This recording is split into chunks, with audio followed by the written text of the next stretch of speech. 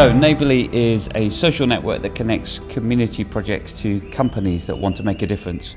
Most communities today want to take more control of what happens locally to them, and they want to work with companies that increasingly feel a responsibility to get more involved at a grassroots level in the communities where they operate. That's almost compounded by the fact that local government money is in decline, and so there really is a growing need now for communities to find somebody else who can step in and responsible companies are the ones that can do that.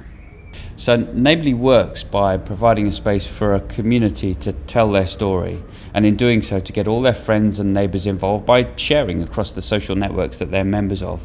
And so that creates a momentum around a project, what we call digital noise. And at the same time, companies can search on the other side of the platform by location and by category and by tag and the sort of things where they believe they can make the greatest difference. And our algorithm matches them up. So it looks for matches, but then it also ranks communities according to who's being the noisiest.